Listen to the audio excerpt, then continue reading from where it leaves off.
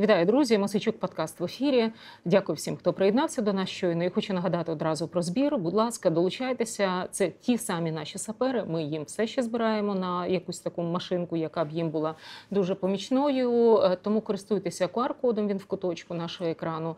Е, Цей переведення коштів можна зробити набагато оперативнішим і швидшим. Дякую всім заздалегідь. Ми сьогодні вирішили поговорити. Офрек, звичайно, ми говорили на різні теми. От і так ми не часто зустрічаємося.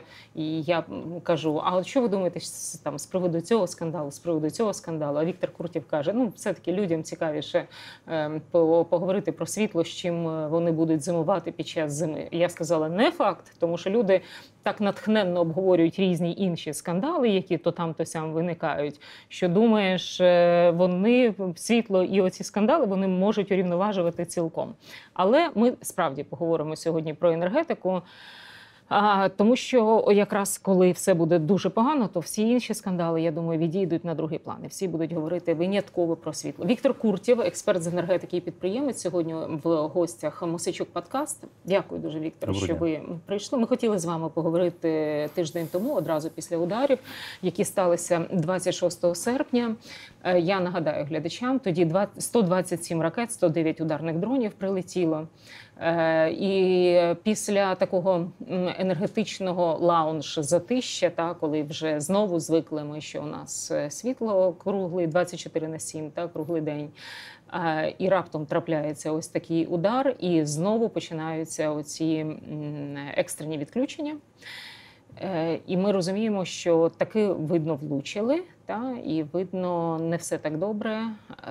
І ви сказали, не можу прийти на ефір, тому що я їду у відрядження, і якраз якраз тими шляхами, де я так розумію, не дуже все ок. І от хотілося поговорити так, що ви побачили, чи ви можете зробити висновок, в якому стані зараз наша генерація перебуває, чим це нам загрожує, як ми будемо зимувати, а якщо ще удари. Ну от всі ці теми нам треба з вами обговорити. І не без корупції, звичайно, і не без там останніх звільнень. Це теж дуже цікаво, не без укриттів над нашими енергетичними об'єктами. Ми про все це будемо говорити впродовж наступної години. Так що приєднуйтеся. Так що з генерацією, наскільки вибили? Ну, Цього разу вони не були по генерації. Взагалі ми мали такі два сезони ударів. Це сезон 2002-2003 року. Так? Тобто з вересня 22 по березень на день народження Шевченка. Шевченка, був да, да, да. останній великий Березня. удар, там, Мгм. 9 березня, так, в ніч. Це, тоді це була одна логіка ударів. А починаючи з 21 березня вже 24-го року, і от по, ну, от, посередину літа, це була інша логіка ударів. Мгм. Тобто цього разу тоді вони е, били по е, мережам системи передачі. Тобто, по, в основному це були магістральні е, підстанції е, НЕК «Укренерго» і пристанційні вузли великої е, теплової генерації. В цьому році була інша концепція ударів. Це самі генеруючі потужності. Тобто це були концентровані удари по об'єктах генерацій зі знищенням самих е, енергоблоків е, і генеруючого обладнання. Тобто ми втратили за 5 місяців е, 9 тисяч мегаватт генерації. А в минулий понеділок вони повернулись до логіки 22-го року. Атаковано було 22 енергетичних об'єкти.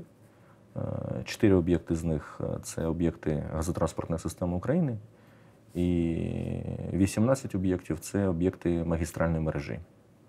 Це в основному е, підстанції суміжні до атомних електростанцій. Тобто задум цього удару це удар по видачі потужності атомних станцій.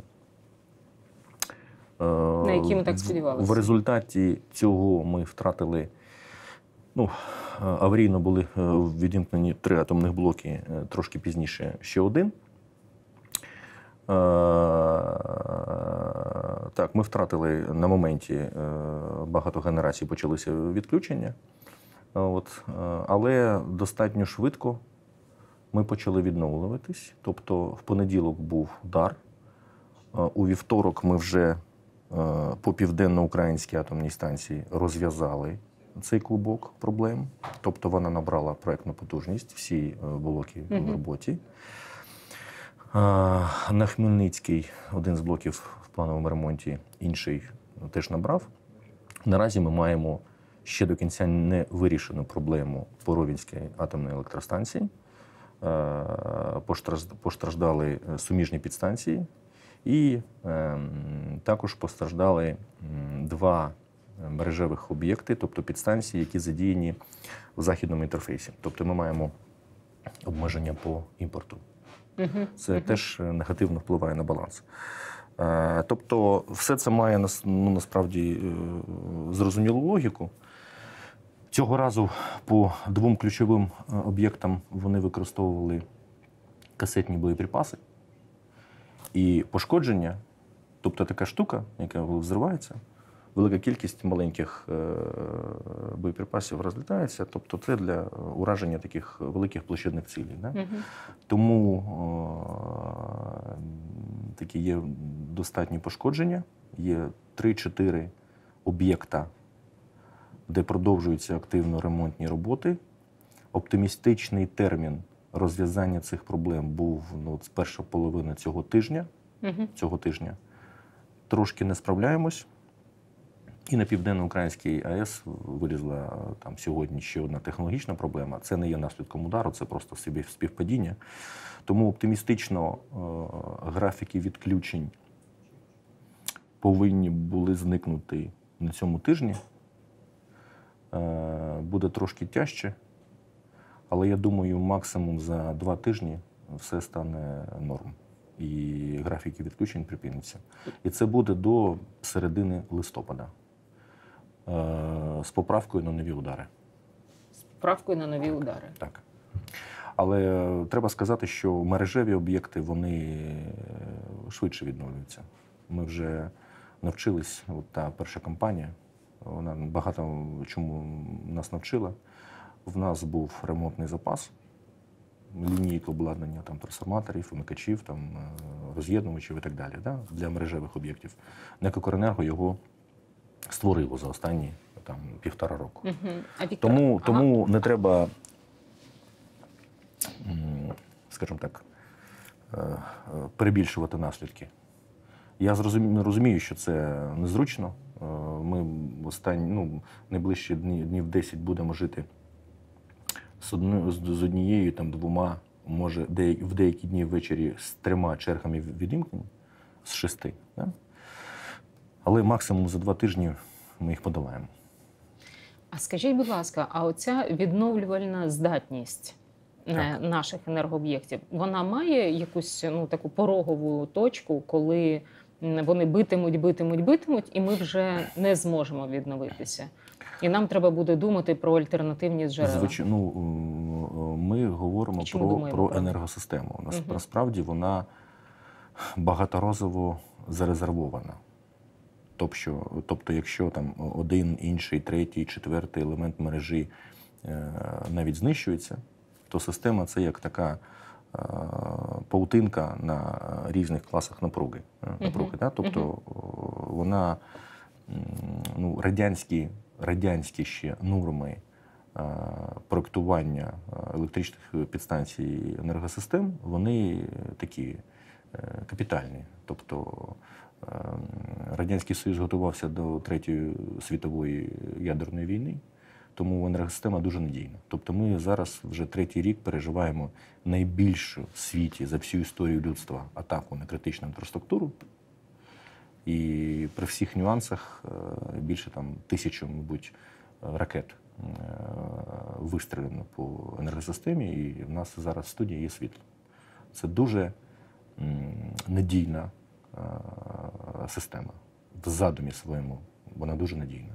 Ну і практично ми це довели. Ціль цих ударів.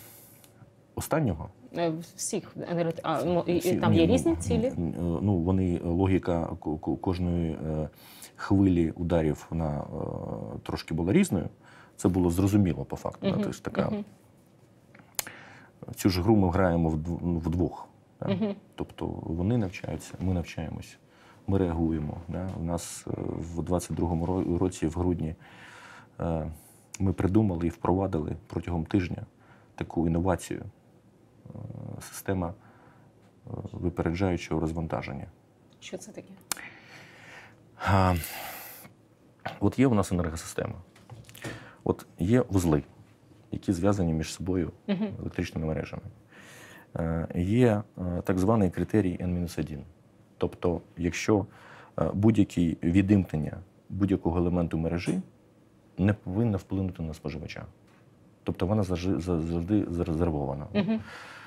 Саме така велика аварія, велике падіння сталося при ударі 23 листопада 2022 року, коли ми майже за декілька хвилин енергосистема втратила а, біля 10 тисяч мегаватт навантаження. Система розвалилась на чотири частини. Потім Укренерго збирав на купу. Е, І це сталося тому, що е, стався так званий каскадний ефект. Тобто, якщо в тебе є вузол, є якесь влучання. Тобто, коли масована атака, ми ж не знаємо, де ПВО, ППО пропустить, а де не. мгм, Та? Тобто ми, не- ми не знаємо, куди точно прилетить. Але якщо е, е, є удар, є відімкнення якоїсь там е, зв'язку, і е, ті зв'язки, тобто лінії електропередач, які залишаються в роботі, перегружаються, автоматика відключає. Перегружається наступне, відключає. І, Каскадно і так далі. падає, І, так. і, тобто, тобто вона. Це були такі в той день, 23 е, листопада, Листопада е, 22-го року. це було відносно невеличке збурення. Тобто е, з Трипольської ТЕС, з Ладижинської ТЕС відімкнулись дві лінії. А це невеличке збурення е, створило цей каскадний Мгм, ефект. Тобто вона не була знищена, вона просто була відключена автоматикою. І ми там три доби, пам'ятаєте, з цього там вибирались тоді. Та, та, ну це самий І після, початок. після, після цього е, була створена унікальна історія. Це комплекс насправді організаційних заходів, навіть не технічних. Е, Коли ми розуміємо, е, вже є масований пуск, Мгм. ми маємо там годину-півтори, На відключення. годину-півтори, поки ракети летять. Мгм. Ми балансуємо енергосистему по вузлах, тобто відмикаємо, але не на 10 тисяч МВт, наприклад, 2. І от правильним чином розподіляємо по енергосистемі, балансуємо всі е, вузли по перетинах, де е, будь-який удар, який ми не можемо спрогнозувати на 100%, не призводить до цього каскадного ефекту. І от 5 грудня, 16 грудня, 29 грудня, 20, там, 31 грудня вони дуже хотіли нас е, погасити на Новий рік тоді. В них нічого не, ну, не вдалося цього зробити. А глядачі могли помітити таку закономірність, якщо є тривога, ракети летять. У нас починається таке е, відімкнення світла, але в менших масштабах. І коли остання ракета впала на землю, ми починаємо нагрузку. Е, я про мету в тому смислі, що ну хорошо, от вони Політична мета ну, зрозуміла. Ну як це? Ну на фронті е, не можуть нічого зробити. Е, от, ну, зрозуміло, е, техногенна катастрофа. Світла нема, е, опалення нема, води нема. Ну, якщо не заживлена критична тобто люди мають штовхати до переговорів. Ну, звичайно, звичайно. Це був план ще осені 22-го року. Вони на нього ставлять. Так? Звичайно, і вони ж е, цього генерала Суровікіна, який, як відомо, був командувачем е, військово-космічних сил Російської Федерації, його поставили як е, начальником СВУ, Мгм. і він почав цього. Він свою, от, е, своє керівництво СВУ почав з таких ударів. Тобто, Це його таке те, ноу-хау, що да? він е, ну, вміє робити. Да? Але українські енергетики в суху тоді виграли у генерала Суровікіна, і Росія не змогла досягнути е, своїх політичних цілей. Е, Потім, е, якщо в 22-му році вони нас розстрілювали як в тірі, тому що в нас не мало, ну, у нас ми не мали засобів е, відповісти. З 23-го року ситуація почала змінюватись. Потім восені 23-го року ви е, от, не було ж минулої ударів? Ні, не було. Не було. Чому? Вас є відповідь на питання? Чому? Ну, щось енергетики придумали. Ні, а при чому тут енергетики? Ну, якщо ударів не було. Якщо б вони були, але все було добре. а, в смислі, тоді ударів не було, Їх же не ну, було. ну, очевидно, вони зрозуміли, ударів. що Ну тому що це така креативна наша там е, дипломатія, це ефективна робота наших спецслужб, але глобально вони розуміли, що в нас вже є відповідь. І наша відповідь буде болісною. І що в цю гру можна грати вдвох. І по неофіційним каналам це було передано. А 21 березня в ніч цей такий паритет був порушений іншим політичним е, кроком, ну, вже України. Але це окреме питання. І вони почали бити. І намагаюся згадати просто, що це було в березні місяці. Один з треків мирних переговорів Ердоган через е, три дні після цього е, в Турції були місцеві вибори. Партія Ердогана їх програла. Ердоган дуже засмутився. Ну, просто я так розумію, що був переговорний трек невигідний для України. І Україна в односторонньому порядку його Розірвала, Розірвала. анулювала. Ну і, мабуть, правильно зробив. Я не знаю підробиць, але, мабуть, правильно зробив. Ну, в тому смислі, щоб люди не шукали зраду, тому що е, там відомо, що Ні. переговори відбуваються, вони час Інше від часу питання: тривають, а але чому ми не були готові до плану Б? А Це давайте ми перейдемо питання. до цього питання. питання. Тому що коли, як ви говорите, в листопаді 22-го року відбулася оця перша масована атака, Так. то тоді уряд почав думати, а як же захиститися від повторних атак. І я добре пам'ятаю, що тоді ну, на рівні е, таких, знаєте, енергетичних кулібіних е, е, і чиновницьких кулібіних, значить, було е, ухвалене рішення про побудову якихось, ну як прийнято раніше було казати в чорнобильській темі саркофагів. Та? От ви ці саркофаги називали будками. Черепахами. Черепахами називали, Декількох там. видів. Да. Так, але чомусь оця концепція побудови зведення саркофагів вона не спрацювала, тому що саркофагів як таких ми не побачили та зведених. Але кошти на них були виділені просто якісь там космічного масштабу. Е, Зате ми побачили два звільнення е, в- чиновників достатньо високого рангу. Е, Один з них прізвище, яке на язиці, в багатьох наєм. І ось тут питання: що пішло не так? Ну, давайте так.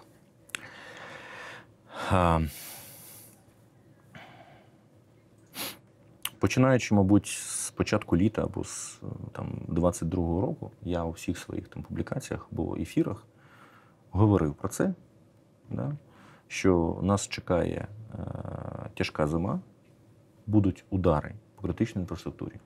Це очевидні речі. Да? Вони ж не тільки мені були зрозумілі. Да? І 11 вересня, тобто це був не жовтень, це була, була неділя ввечері, 11 вересня, коли ем, в них була оця харківська, ну, у нас була харківська ем, оцей контрнаступ харківський, так? Угу. А, їм потрібно було цю телевізійну картинку чимось перебивати, Угу. і в них був фальстарт.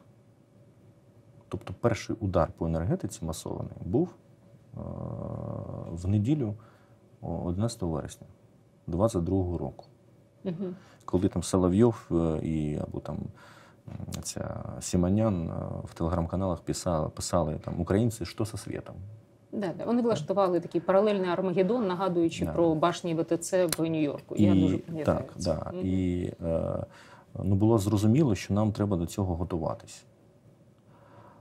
Але було декілька сценаріїв. Тобто, як саме готуватись, так? Перемогла концепція пасивної, пасивного захисту. Саркофаги. Да. Тобто, що ми мали? Ми мали за декілька років до війни таку сформовану індустрію, яка була сформована на великому будівництві. Тобто це перелік компаній, це так званий бетонний трест. Угу. Угу. Фігуранти всі відомі, Угу. компанії відомі. Мгм. Там е, Юра Голік, е, диригент цього е, оркестру, так? Е, А Почалася він війна. вернувся чи не вернувся? От я не- Повернувся, так. Повернувся, Да. Тобто м, почалася війна. Велике будів- будів- будівництво зрозуміло е, скінчилося. Е, Почалися удари по енергетиці. Ну, відповідь очевидна. Да? Є велика кількість компаній, які з мільярдними е, оборотами, які вміють е, копати відсюди і до обіду. Е, Ну, треба щось робити фундаментальне, таке коштовне. Мгм. Да? Ну, під ідеєю захисту. Мгм. І було декілька таких. Це, це ж не одразу були ну, ця концепція. Спочатку мова йшла про закопати енергосистему під землю. Яка корупційна е, паралельна складова? Земельні роботи. Це ж для будь-якого будівельника е, клондайк. Тому що на земельних роботах е, ну, просто вкрасти. Да? Мгм. Потім декілька е, таких проміжних ідей, там якісь там сітки е, Мгм. протишахідні, або там ще щось, і так далі. І так далі. І в кінцевому випадку, десь наприкінці листопада, на початку грудня, ця ідея е, набула е, ну, от, е, того, того вигляду, я- який пішов в реалізацію. Це перший, другий, третій ступень захисту підстанції чомусь. Генерація якось випала з цього. Да? Е, Де перший рівень це якась проста історія, тобто пісок, е, якісь там гебіони і так далі, де просто від уламків е, основні е, чутливі частини інфраструктури ми перекриваємо. Да? Е, Друга, другий ступінь захисту це такі залізобетонні споруди, я їх називаю будки Мгм. над автотрансформаторами на магістральних підстанціях. Мгм. От. А третій рівень захисту, я їх називаю черепахи. Це окремо стоячі споруди монументальні, е, після будівництва яких, е, згідно задуму, необхідно було Перемістити. перемістити всю підстанцію, всі лінії переподключити, Мгм. тобто, щоб вона була в такому Ну, черепаху за- я називаю саркофагом. Тому що ви навіть показуєте її ось так. саркофаг, Мгм. І да. А Е, можна питання? Отут зробіть паузу.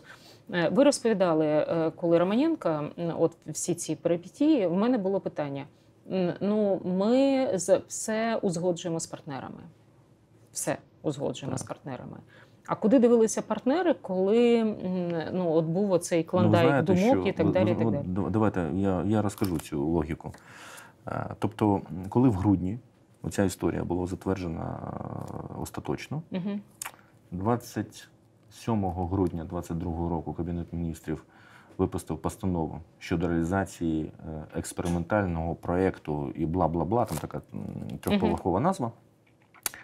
Але це постанова, яка е, прописує необхідність е, оцих будівництва цих фортифікацій за спрощеною дозвільною процедурою. Ну тому що війна і немає часу там на бюрократію. Угу. А, а, В січні 23-го року було створено на базі там двох е, державних структур. Одна з них, який Укравтодор, була створена е, агентство розвитку е, і відновлення інфраструктури. І наприкінці 31 грудня Мустафа Наєм був призначений головою цього агентства, агентства розвитку. Да? Відповідає на питання, а де партнери, куди, куди дивились і так далі. Да? От навіщо там наєм? От просте питання. Е, В смислі, ви не тікаєте, що його роль була От- комунікація от, з партнерами? От, от, є- от, от він що? От, е, головний будівельник країни?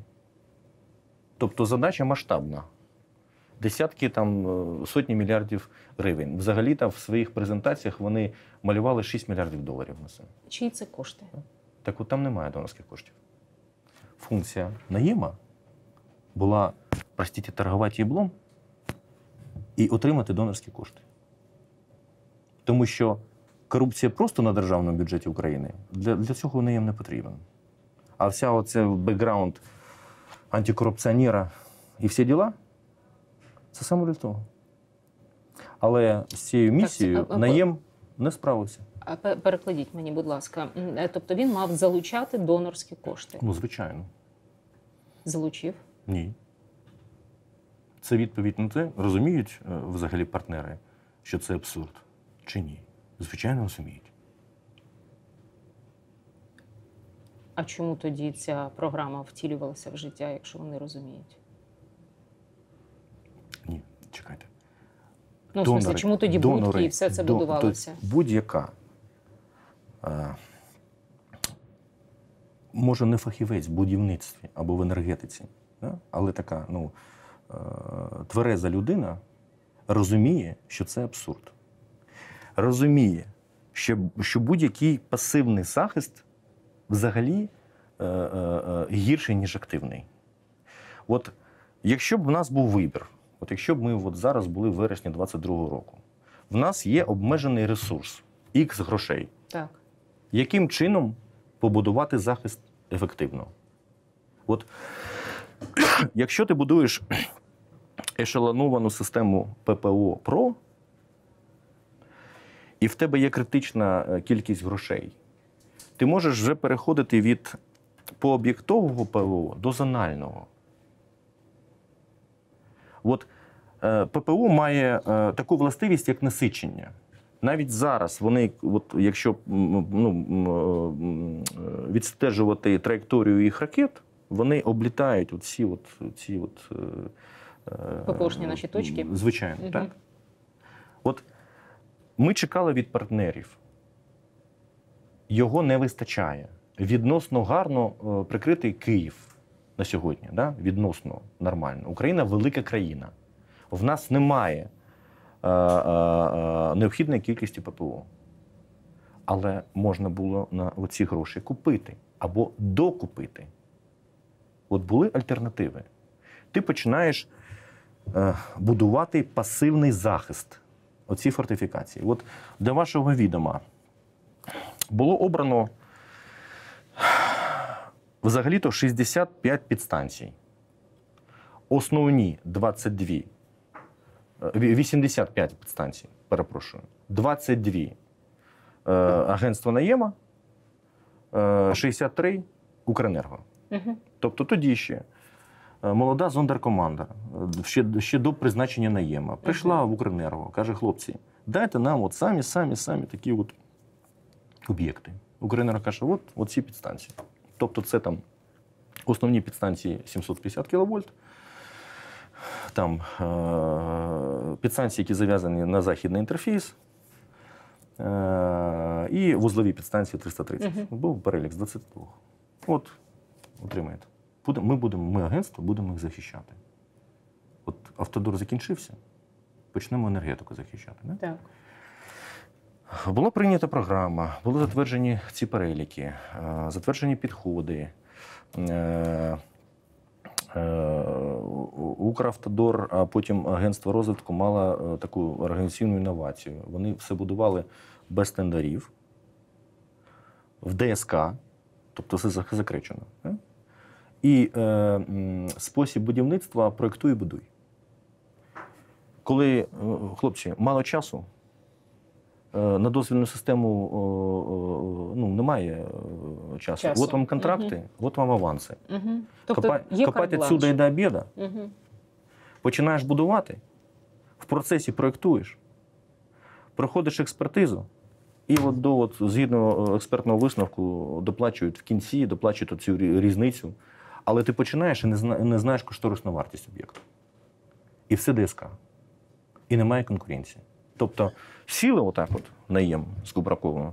Так, сім там компаній, значить, автострада там туди, туди, туди, туди, значить, е, там Роддорстрой, туди, туди, туди і так далі. Як ви думаєте, з таким підходом буде корупція? Хорошо. Буде А скажіть мені, будь ласка, а чому вирішили, як ви казали, там було Тобто, і кілька варіантів? принципово, принципово. Цьому переліку не було об'єктів генерації. Жодної атомної станції. В смысле захисту. Ну, Звичайно. Не було е, по Дніпровському, Дністровському каскаду ГЗАЕС. Тобто це основна опорна генерація енергосистеми України. От е, як казав Валерій Лобановський е, щодо характеристики якості ігри, да? дивіться на табло. У нас на табло мінус 9 тисяч мегаватт за 4 місяці. Ну так, рахунок на табло казав Лобановський. А скажіть, будь ласка, а от ви казали, що можна було там було кілька варіантів. Можна було закопати, можна було побудувати черепахи і будки, можна було, як Всі ви кажете, вони космічно, купити П- ПО. космічно дорогі і неефективні. Я про ефективність. А була доведена ефективність, тобто був якийсь експериментальний саркофаг, який сказав: О, дивись, воно працює, там жоден дрон або якась там ракета його не взяла. Наталю, ви починаєте купати. Насправді ні. Тому що, по-перше, в Україні немає норматив, нормативів проєктування фортифікаційних споруд таких, такого типу. По-друге, ну просте питання. От навіть якщо ти будуєш цю там черепаху чи будку, в тебе є перелік засобів ураження. Тобто є там шахет з бойовою частиною там 50 кг. Угу. Є лінійка крилатих ракет. Там Мгм. Х-101, Х-555 і так далі. Там бойова частина там 500 кг. Є там якась там Х-22, наприклад. Да? Бойова частина там 950 кг. Угу. Є там ну, типи боєприпасів. От будь-яка війна, от ми, ми країна, яка має е, е, набагато менше ресурсів, ніж е, Росія. Ми не можемо з ними воювати симетрично. Ми багато разів про це говорили. Всі наші дії повинні бути асиметричні. Це стосується втрат на полі бою. Якщо наші е, е, мобілізаційні спроможності е, ну, співвідносяться як 1 до 6, то будь-який бій, де навіть 1 до 2, 1 до 3, ми його програли, тому що ми зітремось швидше. Мгм. Зрозуміло. Угу. Це ж стосується економіки. От ми рахуємо вартість їх залпу. А? От, ну, якщо оця будка навколо автотрансформатора, вона коштує від 2 до 7 мільйонів доларів. У Угу. Кудрицького вона коштує 2 мільйони доларів, у Наєма 3, 4, 5 або 7. Найкоштовніше. Угу. Черепаха на хвилиночку 20 мільярдів. Угу. 20 мільярдів А вони вам скажуть, що а хто тобі 500 а мільйонів вони вам скажуть, Вітя, а хто тобі продавав е, ППО? А чого ви так переконані, що вам взагалі хтось продасть так. ППО? да- Давайте так. По-перше, от набудували ви цього е, за мільярди доларів е, пасивного захисту. Так. У мене питання: от є лінійка боєприпасів. Оця черепаха, вона одноразова. Ну, черепаха. От ти, ти, ти Я ж не знаю, я ж вас питаю. 500 мільйонів доларів. Наскільки вона резистентна Дивіться, 500 мільйонів доларів. Це споруда там 250 на 250 метрів. Навіть російські невисокоточні ракети е, ну, влучать. ну, попадають влучать, Да, так, так. Тобто ми маємо, наприклад, підстанцію Київська зараз, яка пережила 22 хвилі атак. Стріляли всім на світі. Угу. Вона працює. Да, після останнього удару там є е, елементи мережі, які, ну, які не в роботі, але це зараз буде зроблено. Угу. Вона пережила в 22-23 році 22 хвилі атак. Вистояла абсолютно асиметрично. Що пропонується? Побудувати, вона в, е, ну, в значному ступені побудована поряд Мгм. ця споруда черепаха за 20 мільярдів гривень. Я навіть е, не про корупцію. Якщо взяти 20 мільярдів гривень, поділити на 1 мільйон 300 тисяч кубов бетону, то ти отримаєш 15 тисяч куб. Ну, Не 3, не 4, 15. Це е, вартість корупції. Але навіть не це важливо. Ми утилізуємо ресурс в безглузду споруду. Вона не буде закінчена ніколи. Тому що є ще час реалізації. А перепідключити підстанцію 750 кВт, створити, запроектувати, а потім виготовити, поставити і змонтувати Крує 750 в світі там дві чи три компанії, які взагалі це роблять. У Сіменса черга в 2-3 роки на це виробництво. а ви знаєте, Хтось, хтось е, збирається до, до 2030 року воювати, чи як? От горизонт планування який? В Я тебе є час, в тебе є ресурси, в тебе є наявні альтернативи. Коли воно Я мало розумію. коли воно мало бути збудовано все до Збудовано? да. Дедлайн по Ну, дедлайни вони кожен раз змінюються. От наразі е, з черепах з семи недобудована не одна, велика ступінь готовності лише у одної з семи. Е, Будки? е, будки.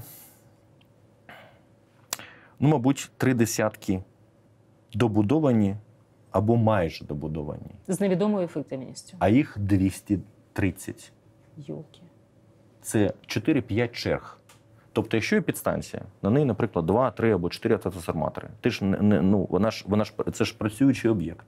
Тобто, ти один виводиш в ремонт, викатуєш його, даєш доступ підряднику, він не в роботі. Тобто на цей період е, гнучкість енергосистеми знижується. Угу, угу.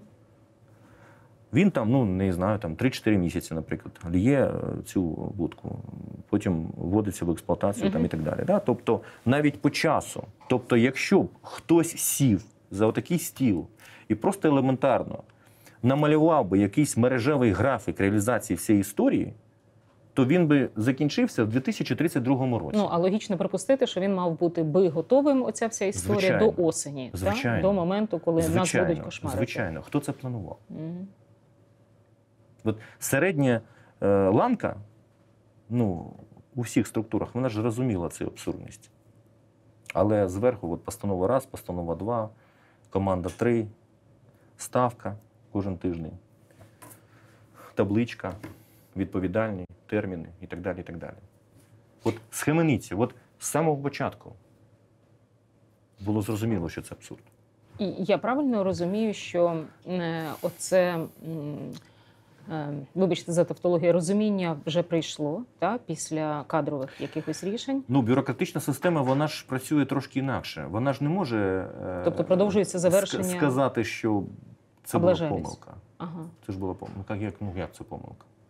А хто крайній? У нас Кабмін взагалі колегіальний орган, там нема крайніх. Ну, очевидно, того, кого звільнили.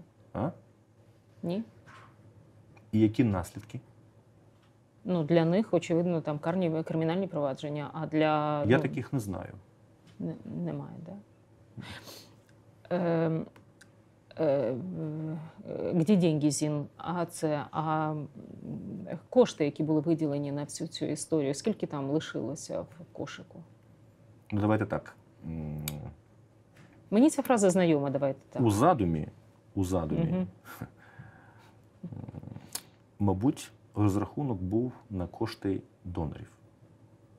А держава. Ну, це обтяжуючий фактор держава, взагалі. держава давала підйомні. Я так розумію, ну, мільярдів 40, наприклад, е, пішло на оці фортифікації. Це м, підкреслюю, лише енергетична фортифікація. Тобто над цими от, е, об'єктами, які були в переліку. Так? Презентацію агентства розвитку, яку я бачив на англійській мові для донорів, там в сукупності всі, от, всі плани Барбароса там, на 6 мільярдів доларів в сукупності. І всі рази, коли різні представники цих донорів питали мене, я свою щиру А вони не ідіоти, вони перепитують, да? Звичайно, експертну я думку. свою щиру Мгм. позицію, от щиро їм відповідав. Моя позиція відкрита. Е, Я з самого початку е, я мав велику ну, серію публікацій під загальною назвою Бетон на крові. Мгм. Я багато про це говорив в ефірі ще коли це було задумом, і ці гроші не були потрачені. Зараз е, рахунок на табло. Мгм. Ну і ще, як Я- наслідок, я вже не кажу про гроші, От- є от- певні от- репутаційні от- втрати, от- от останнє, останнє. Е, Альтернативою є купівля е, е, і впровадження е, і взагалі побудова національної системи Купол. ну, ППО. Да? Звичайно, це не якісь там пірашки на базарі. Да? Звичайно, це ну, технологія. Є багато факторів, які на це впливають. Не можна просто так прийти і на світовому ринку там, купити там, е, 250 там, гепардів. Ну, я ж про це вас питала. Так. Звичайно. Але в 22-му році, в тій політичній кон'юнктурі, за ці гроші це можна було зробити. Ну я так розумію, що до цієї логіки підходять, тому що президент е, там місяць тому та він прямо е, просив партнерів Ну, от- ППО, ППО, от- дайте от ППО. З- так. Зрозуміло. Тобто до цього червні е, або там в травні, в червні е, е, Кубраков і Неєм були крайніми. Да? Вчора Кудрицький. Його Так, зняли за це. звільнили. Да? В нього останній робочий день завтра, насправді, здається. насправді Мгм. основна провина їх усіх в тому, що вони на початку на ставці не могли пояснити, що це невірне рішення. Ну, вони були переконані, що навіть вірне без, рішення. без наявності альтернативи, якщо б ми нічого не робили, ми б оцей, цей дефіцитний ресурс не закопали б в прямому сенсі. Ем... Да, результат ви написали в довідці мені мінус 9 тисяч мегаватт генерації. От ви казали вже сьогодні на початку про це, так? Ну і 5 місяців е, таких робіт. Ем, коли ви говорили про. А, ще виникло питання по ходу того, як ви говорили. е, Нещодавно був удар по дамбі. Хотілося б теж зрозуміти, що ви про це думаєте, тому що був переполох. Київський мається на увазі, тому що був переполох. Що Це не удар по дамбі. що це було? Це е, згорів трансформатор на пристанційному вузлі Київської ГЕС. Наскільки небезпечно, страшно? Ну, ми маємо Наслідки. обмеження. Ми втратили умовно там 160 МВт Київської ГЕС, е, йдуть ремонтні роботи. Ну, відремонтуємо, запустимо. Неможливо таким ударом знищити дамбу. А якщо туди летіла ж не одна ракета, та Це не важливо. Дамбу знищити неможливо. а Каховська? Як була знищена? чекайте, Хаховська була замінована зсередини. Тобто зовнішнім ракетним Ні, я ударом пам'ятаю про ці цьому, вантажівки, цьому, які там стояли е, заміновані. Ну, в цьому, так, наприклад, росіянами. проблема Кримського моста. Чому він досі стоїть? Тому що це нетривіальна задача. Якщо В мінувати, ракет треба багато. мінувати зсередини, це легко. А ракетним ударом знищити такий масивний об'єкт, як, наприклад, дамба, це неможливо. Це треба тактичний ядерний удар. Угу. так що там Троєщина може спати спокійно. То, що Троєщина і Позняки, весь, весь лівий берег, знаєте, насправді на цирла встав. Страшно було дуже. Ем, я хотіла все-таки повернутися ще до теми корупції, тому що вона повністю не розкрита, як на мене. Нам треба трошечки е, вже пролунало прізвище Кудрицького Укренерго та в його останній робочий день завтра. Я подивилася 4 числа. Все таки, от е, це все наслідок е, каскадного 4 вересня середа. так, це все наслідок каскадного, говорячи вашою термінологією, обвалення, та коли Наєм, Кубраков, Кудрицький. Це означає, що вживаються заходи, якісь хтось шукає винних, будуть Ні, це кримінальні наслідок е, е, внутрішньої е, відової боротьби Хейло знову ж таки. Це все от упаковується в, в, цю, в цей момент. це е, насправді це привід. Е, Корінний, е, корінні мотиви інші, звичайно. Ну тобто, крім війни чиновників з чиновниками, нічого немає за ресурси. Ну от, як говорив класик, не так страшні московські воші, як наші українські гниди. Ну, є таке, знав щось. Так. Я є з самого початку публічним і послідовним опонентом е, діючого керівництва енергетичної галузі України в особі Германа Галущенка, міністра Германа Галущенка. Це досить відкрита позиція з моїх е, офіційних ресурсів. Це не якісь там гамносайти або якісь там е, компанії і так далі. Це моя експертна думка. Е, Причому в мене немає е, ну, якогось особистого конфлікту. А що у вас візіонер? Ну, якась візія не збігається з Галущенком. Я завжди говорив і говорю, що існуюча е, така керівна команда енергетичної галузі. Починали вони е, в 2020 році з керівництва енергатомом, з 21-го року всієї галузі. Це команда афільована, залежна і підконтрольна Андрію Деркачу. Ми про це говорили з генералом Кондратюком не далі, як в суботу. Це е, ну, е, фактів, е, історій, прикладів і так далі, їх мільйон. Тобто їх настільки, ну, настільки багато, що ми ну, не, не маємо часу. Це все написано. В мене є е, е, серіали, просто серіали розслідувань да, е, конкретних прикладів і фактів. Да. Це все, що завгодно. Це здача наших АЕС В якому смислі? в самому прямому. Ну, в якому в прямому смислі? Що я як?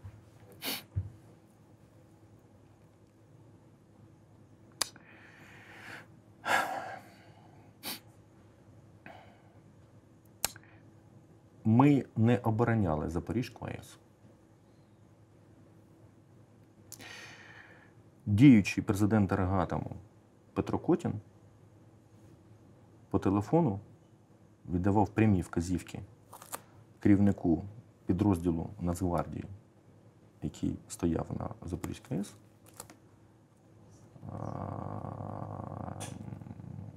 Не протидіяти.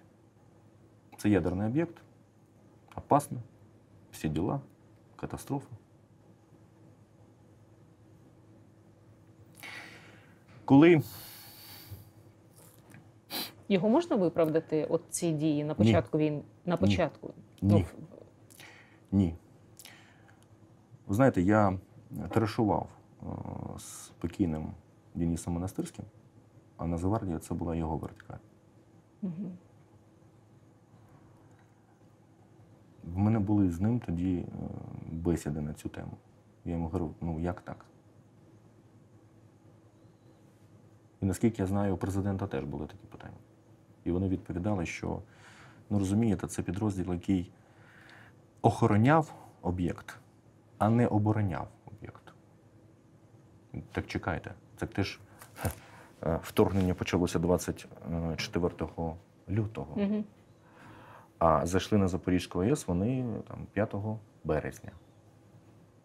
Був час на перехід до цього підрозділу Нацгвардії до штатного розкладу військового часу. Був тиждень, більше тижня, щоб взяти об'єкт в оборону.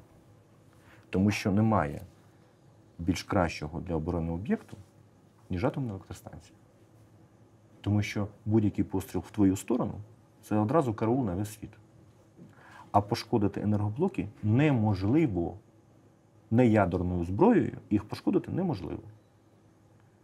І на реакторах ВВР-1000, е, е, е, якщо є команда на, тобто вони захолоджені, створити катастрофу неможливо. І цей комплекс заходів ну, треба було виконувати і брати об'єкт в оборону.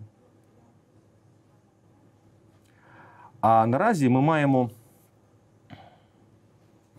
От коли заходила е, е, колона російська, от була імітація бою невеличка. Якийсь наш молодий офіцер е, якимось НЛО бахнув танк в цій колоні. Є така історія. І випадково в цьому танку їхав і згорів полковник, який е, їхав е, е, отримувати Герой Росії за присоединення Запорізької АЕС к. А коли колона зупинилась, з першого цього БТРу виліз там е, е, русський товариш і каже: ви зачем убили полковника? Ми ж договаривались. У мене питання, хто з ким договаривався? Ви знаєте, коли е, там через декілька днів після початку окупації перша бригада Росатому прийшла на ЗАЕС, ну, ми їх вичислили там за протягом двох годин. І були перші списки в МАГАТЕ, е, почалась історія про санкції, мгм, е, про. Росатом і так далі. Знаєте як? От Іванов, Петров, Сідоров, як? Вони прийшли е, в канцелярію відмічати відрядження. І, ух. Красиво. Історію таких мільйон. Історій мільйон. В 23 е, лютого енергосистема України в рамках експерименту перейшла в ізольовану роботу. А через 4 години почалась війна. Таких співпадінь не буває. Їх не буває.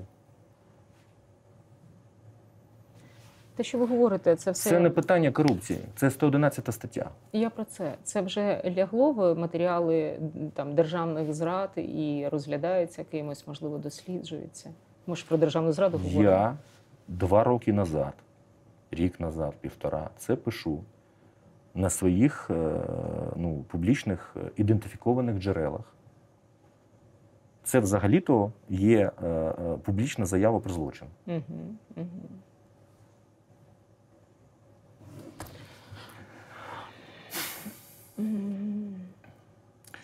От є от Деркач, Деркач.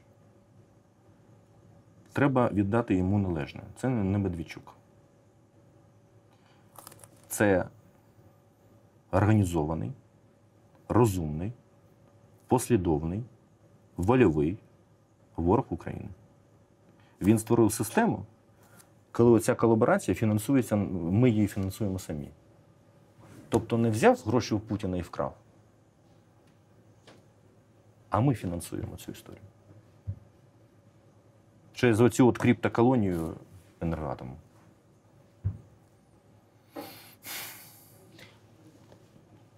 Ем, ну, тут вихід один, да? або розірвати ці порочні зв'язки, так? Ну, правильно чи ні? Да? Або Я підкреслюю, в мене з Германом Галущенка немає особистого конфлікту. Він в житті насправді дуже така розумна, організована і так далі людина. Е? Це факти. Це все факти. Їх мільйон. Але навіть ці Це факти не- не, ну, не може свідчать бути про те, в- ну Віктор, вони не свідчать про те, що там Герман Галущенко, як міністр енергетики, працює на ворога. Ну аж ні. Ну тобто, це досліджують е, інші люди в інших кабінетах. Правильно? Правильно. Ми ж про це не говоримо.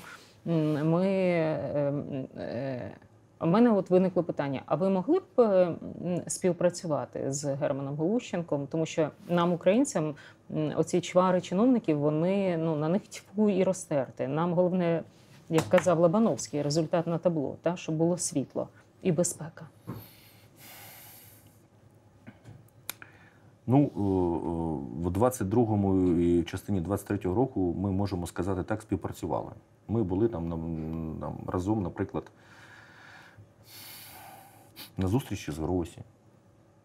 От коли була почалася криза навколо там ЗАЕС, була перша делегація МАГАТЕ там, і так далі. Да? Ми зустрічались в багатьох кабінетах, в тому числі у президента. У мене немає особистого конфлікту. Я його ідеологічний опонент. Це не його стратегія, це стратегія ворога. Він виконавець. Для мене це абсолютно зрозуміло спочатку до кінця. Тобто, ви Є- думаєте інакше, Є і ви будуєте мільйон Мгм, е, мгм. речей, е, які в ефірі я сказати не можу. Більш того, наш спеціальний орган, до підслідності якого відноситься 111 стаття, фактаж має. Що це за історії по забудові України ядерними блоками?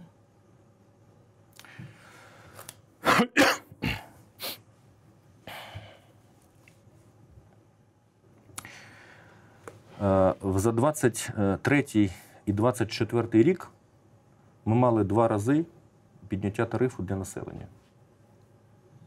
Так. От з 1 червня 23-го і от з 1 червня 24-го року. Пам'ятаєте, він піднявся для населення з 2,61 до там 4,32. Угу. Що це означає? В нас є так зване ПСО для населення, тобто тариф для фізичних осіб для населення, він в механізмах енергоринку субсидується. І основним донором цієї субсидії є НАЕК «Енергоатом». Тобто ми маємо е, ядерні блоки, які в значній мірі замортизувались вже. Ми маємо ну, раніше дуже маленьку собівартість е, виробітків кіловат години. Да? Умовно 2 центи. Після окупації Запорізької е, АЕС е, трошки інша ситуація, тому що там є умовно постійні витрати, які е, треба розмазувати по меншій кількості встановлених мегаватт. Але тим не менш. Тобто ми маємо дешеву ядерну енергетику, яка і енергоатом був, був і є основним субсидіантом у цій історії. Угу. Підняття тарифу для населення, от під яким е, соусом це подавалось? Ми втратили 9 тисяч мегаватт. Да, Треба під відбудовувати. да. Зима і всі діла. Так. Чекайте, хлопці. Якщо б ми підняли тариф, отримали би якісь гроші. От за минулий сезон, за 23 рік, це плюс 30 мільярдів. За цей рік це плюс 50 мільярдів. Угу. Додаткових грошей лише від населення. Це не стосується промисловості і тих сегментів енергоринку, які на риночних е, Умовах в- теж. працю- працюють. Мгм, да? Це працюють. лише від населення. Додаткові там за півтора року 80 мільярдів. Да? 50 от з цього підняття.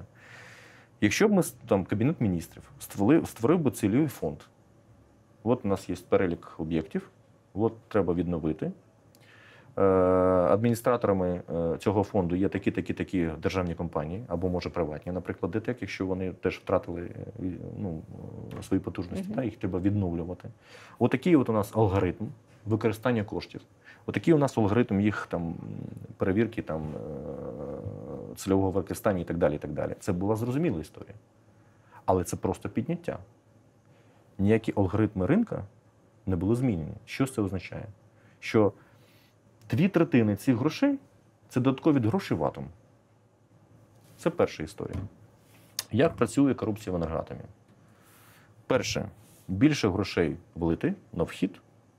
Друге, відпрацьовані схеми на всіх рівнях. Е, ну, я кор- зрозуміла. кор- корупційною складовою. Да? Що треба, щоб ця історія була більш ефективна? Треба мегастройка. Наприклад, третій, четвертий блок, Хмельницької АЕС на російських реакторах. Міністер... Міненерго заявляють про підтримку США, Або п'ятий, будівництва шо- додаткових блоків на п'ятий- Хмельницькій п'ятий, АЕС. шостий блок на базі А в Україні збираються е, добудувати закинуту Чигиринську АЕС в Черкаській області, будівництво якої було зупинено після Чорнобиля е, на Черкащині. Не тільки там. Теплодар під Одесою, Очаков, Миколаївська область. Миколаївська область. Це не тільки те. Це 100-500 малих модульних ядерних реакторів. Вони фонтанують ідеями ну, кожен день. Більш того, Тобто, на вашу думку, це все фігня, воно нам не допоможе ніяк. ця це фігня, корупційні. дивіться, ніхто нічого будувати не збирається. Чому ви так думаєте? Е, Тому що це довго? три роки тому е, подарував енергатому е, е, парогазову установку, яку вони там два з половиною роки підключали до мережі. З таким рівнем організації капітального будівництва це неможливо створити, неможливо побудувати. І це десятки років. Ядерна енергетика це 10 років мінімально. Це цикл проєктування і будівництва е, е, атомної електростанції. Ну, дуже пишеться, що це і в середньостроковому, і в довгостроковому плані. Дивіться. Тобто, ну вам же не говорить Віктор Дивіться. Куртів, це не на З завтра. такими я послідовний. е, Ну, тобто я за е, атомну енергетику. Да? В мене є велике відео, е, ну, таке візійне відео. Е, Україна 2050 енергетична наддержава. Вона має таку назву. Де я 2050. там Мгм. 2050. Мгм. Де я там дві години розказую, чому е, е, е, світ, світ не зможе е, е, за рахунок наявних тенденцій там, зеленої генерації і так далі, і так далі е, е, е, забезпечити планету в- другій половині е, 21 століття. Е, Тобто це неможливо без е, ядерної енергетики, причому без реакторів наступного покоління, де е, основним е, е, ізотопом, що горить, буде не 235 уран, а це будуть інші технології, наприклад, на торії там, і так далі, або е, інші технології е, на швидких нейтронах і проче. Да? Я, ну, я за е, ну, я е, з сім'ї е, фізиків. Мама е, працює в інституті ядерних е, досліджень в Києві і по сьогодні, хоча вона на пенсії, так? Я не проти атомної енергетики. Я за е, здоровий глузд і пріоритети. З такими тенденціями через півроку ми можемо не існувати. Нам не до 2038 року і не до блоків Хмельницького АЕС. Ми повинні пройти цю зиму. І той, той дефіцитний ресурс, який в нас є, ми повинні раціонально використовувати, а не закопувати їх в землю. Тільки наєм, наєм фортифікації, а Галущенко в підготовчі роботи. Дивіться, є гроші на вході, є легенда. Неважливо, 10 років, 15 Теорія, легенда. Так, так. І треба е, ну, правова основа для того, щоб можна було почати ці гроші витрачати. Наприклад, закон, який провалився до будови 3-4 блоку на російських під, ну, підкреслюю, реакторах там, з Болгарії. Да? Або інша е, історія, або там без тендерів е, вибір технології, якісь ДСК там меморандуми, ДСК договори, по яким платяться кошти і так далі. От навіть велика країна, наприклад, Китай або Індія, вона має якусь стратегію, і вона не фонтанує технологіями, е, компаніями і, так далі. Тобто е, е, вибір вибір ядерного, ядерної технології і постачальника цієї технології це вибір на століття. Тому що ми маємо замкнений ядерно-паливний цикл, частиною якого ми будемо. Ми маємо паливо на вході, ми маємо життєвий цикл виробництва, і ми маємо цикл захоронення, а потім переробки. І ми повинні розуміти спочатку до кінця, як, де, з ким ми це будемо робити.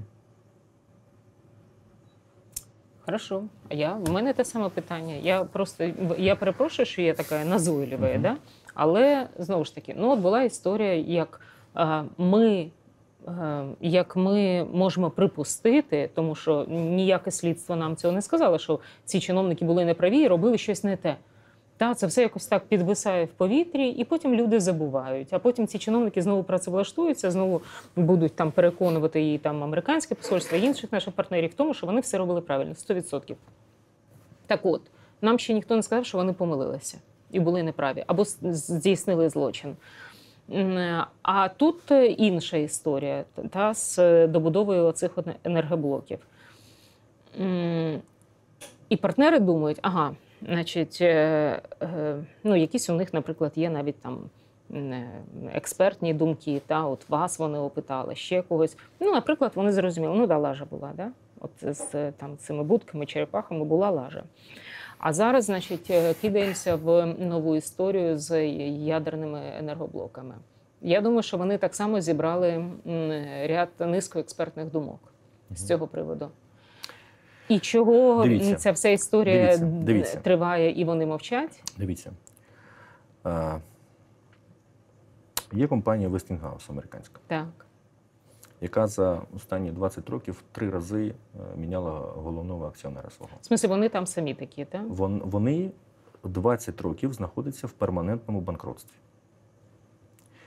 Вони мали е, невдалі проєкти в США, вони мали невдалі проєкти в Китаї, де Westinghouse прийшов як постачальник технологій генпідрядник, накосячив. Китайці, наприклад, самі до- добудували, Угу. а Westinghouse отримав там е, позов судовий там, на 3,5 мільярди доларів, наприклад. Мгм. Да? Угу. Є інший Вестингаус, який шведський, де постачає паливо. Це взагалі-то інша компанія. Хоча свого часу це була там одна структура і так далі. Да? Не треба, плутати одне, з- одне з іншим. Значить, є влада Сполучених Штатів.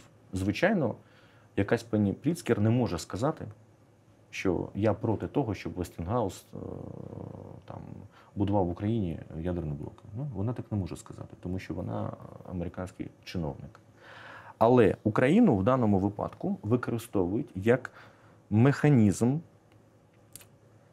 е, виведення з банкрутства Вестінгаус. Тому що по-хорошому наші сусіди, наприклад, поляки, або там, не знаю, там чехи, або там інші е, е, країни, які мають плани з будівництва е, нових потужностей, вони проводять тендер. Дуже комплексний. Він триває 1-2 роки, тому що вони розуміють, наскільки це важливий вибір. Вони всебічну оцінку проводять, приймають рішення. От Ну да, це Польща- стратегічна Польща- ставка на Польща, розвиток. наприклад, на, зирець. надалі на От подивіться, що робить Польща, і зробить так, ну, так, так, так само. От хто оцінював всі наявні альтернативи? От, наприклад, от, е, е, е, е, наше керівництво енергетичної галузі не оцінювало, а от, наприклад, самі американці оцінили. От е, в середині е, липня, тобто трохи більше там, місяць тому, да? Е, MIT, Масачусетський технологічний інститут. Е, Є там автор, я забув там якесь індійське прізвище в нього. Е, Є велике дослідження щодо реакторів Westinghouse всієї лінійки. В нашому випадку мова йде про AP1000. Ну. Він провів дослідження, і його висновки такі. Один блок AP1000 буде коштувати не 7-8 мільярдів доларів, а 15, тобто в два рази більше. Його висновок, що Westinghouse AP1000 не є конкурентоспроможним на світовому ринку. Другий висновок. Третій його висновок. Westinghouse AP1000 не є конкурентоспроможним на внутрішньоамериканському ринку. Корейці наступають. Крапка. Тобто, ви хочете сказати, що за наш південно-корейська рахунок технологія не за моїми висновками, а за висновками MIT Boston США е, більш ефективна. Тобто ми мали б технологічно, допомогти там рядовому І району. да? технологічно, Ясно. і економічно. Я не стверджую, що це догма. Я говорю, процедуру витримайте, залучіть кращих фахівців в цій країні. Витримайте процедуру. І ми знайдемо правильну відповідь для України. І все. А енергетична ставка за участю там експертів, вона відбувається в країні? Think tank. Не енергетична ставка прямо там на в нас, рівні. в нас кожна кафешка фінктенк. Ні, ні, ні, я не про це. Я про е, фахових людей, які навіть е, ідеологічно різних, там, Насправді, коли, візіонерські різних. Вертикаль влади не працює як треба і збоїть, то в суспільстві починається, починається самоорганізація. Так, є велика купа центрів, які самоорганізуються і готові представити ефективну альтернативну стратегію, в тому числі в енергетиці, як треба насправді робити. І Україна дуже. Україна ж це ж горизонтальна держава. Насправді. Ми ж це ж не про башту. Е, мережа е, е, перемагає башту. В нас немає, скажімо так, немає сенсу у нас бомбити центри прийняття рішень, тому що не зрозуміло, де вони насправді. Це, І це є наша сила. довів. Да. І це є наша сила. Вони, до речі, бояться цього. Я коли дивлюся незашкварених таких, знаєте, зовсім вже зет-патріотних експертів, вони говорять про те, що типу, хахли, оця їхня тактика та набігів, нальотів і на- на- Махновщина. Махновщина. І як вони сказали, найбільше те, з чим значить, русським е, дуже важко поратися, це е, українські горизонтальні зв'язки. Тому що в цих мережах дуже легко загубитися і важко прорвати. Ну але давайте знову ж таки будемо по результату е, судити, як там воно і що.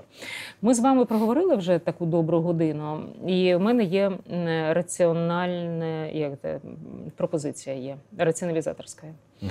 Е, Можливо, давайте ми сядемо ще в четвер, е, трошечки піднімемося на геополітичний рівень і глянемо на цю всю історію.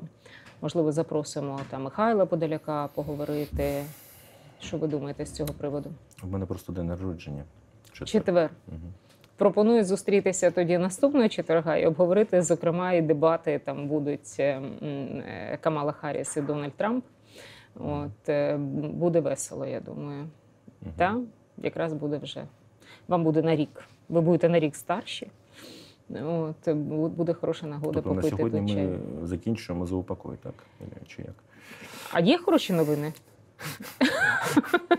Я вам так поставлю питання. Є надія. є, кажіть. Є надія. Надія. Надія. Ага, да. А в чому надія? М? В чому вона ця надія?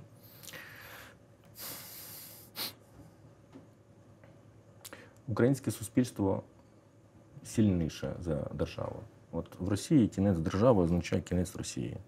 А ми за останні там трошки більше, ніж, ніж 10 років два рази втрачали державу і нічого. Ми живемо далі.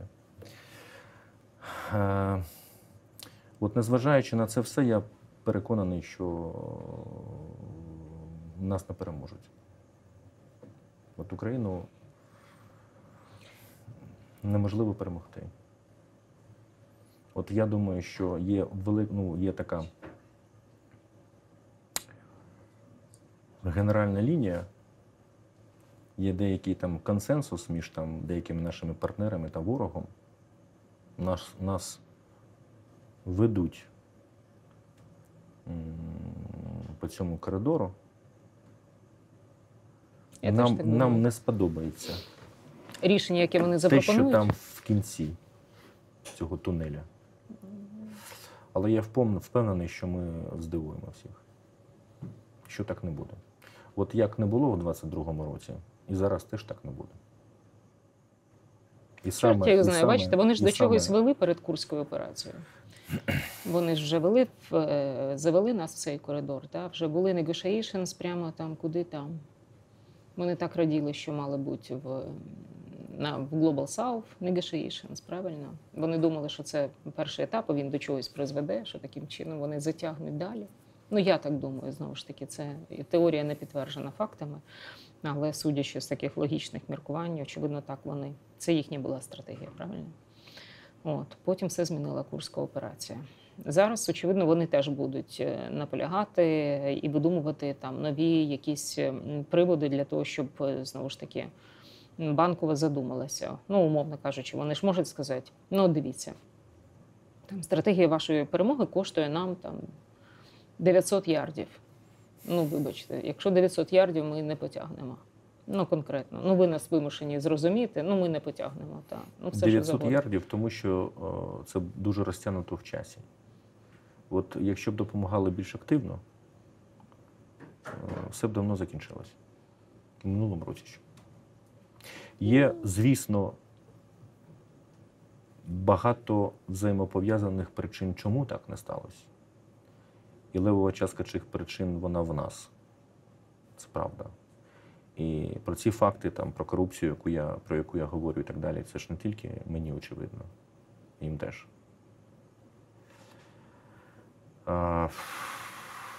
Це важке питання. Могло бути інакше. Ми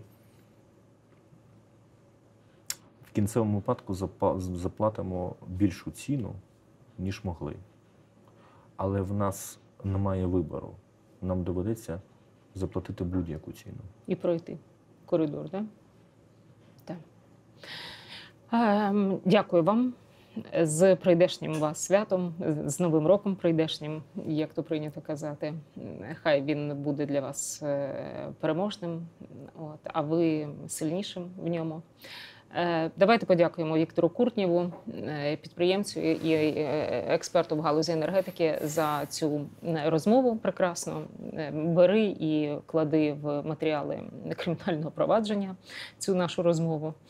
От я усміхаюся, хоча мені, наприклад,